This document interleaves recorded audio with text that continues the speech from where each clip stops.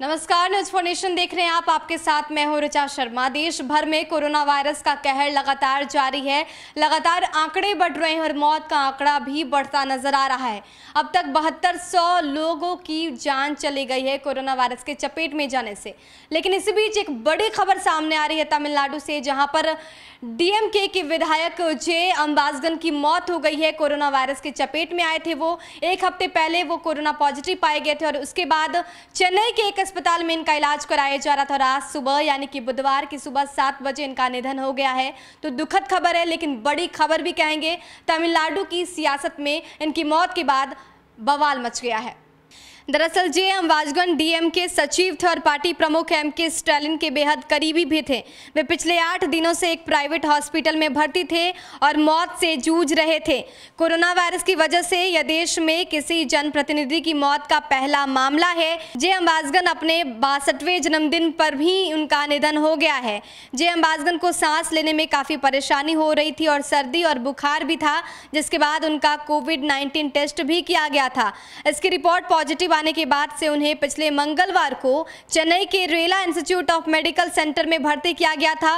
उन्हें किडनी से जुड़ी बीमारी भी थी और उनका शुगर लेवल भी काफ़ी हाई हो गया था।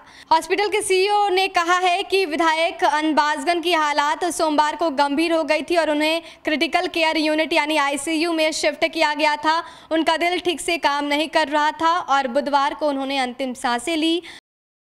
आठ बजे उनकी मृत्यु हो गई है। अनबाजगन कोरोना संक्रमण के अलावा कई बीमारियों से जूझ रहे थे। वैसे पाँच जून को उनकी हालत में कुछ सुधार हुआ था, लेकिन आठ जून को स्थिति ज़्यादा खराब हो गई थी। वे चेन्नई के डीएमके के प्रमुख रणनीतिकारों में से एक थे। वे 2001 में पहली बार टी नगर विधानसभा क्षेत्र से विधायक चुने गए और वे इस सीट पर 2006 में चुनाव हार गए थे। इसके बाद 2011 में चेपक त्रिपलिकांश क्षेत्र से विधायक बने थे। तो इस वक्त की दुखद खबर तमिलनाडु से। देश भर में ये पहले पहला मामला है जब किसी जनप्रतिनिधि की जान कोरोना वायरस के चपेट में जाने से गई है। तमिलनाडु के विधायक जी ने अपनी जान गंवा दी है कोरोना की चपेट में जाने से। उसके बाद वहाँ की सियासत में बवाल मच गया है और दुखद मामला देश के लिए। अभी पूरे देश में शोक की लहर है क्योंकि किसी जनप्रतिनिधि की मौत हो गई है कोरोना वायरस के चपेट में जाने से। तो इस वक्त की दुखद खबर आ रही है देश में। यह पहला मामला होगा जब किसी जनप्रतिनिधि ने कोरोना की चपेट में जाने पर अपनी जान गंवाई है। अब इसको लेकर तमिलनाडु की सियासत में उबाल खड़ा हो गया है, उबाल मच गया है। जिस हिसाब से लगातार आंकड़े बढ़ रहे हैं, उस पर ब्रेक लगता नहीं दिख रहा है और ये पहला मामला सामने आने के बाद कहीं ना कहीं पूरे देश में शोक की लहर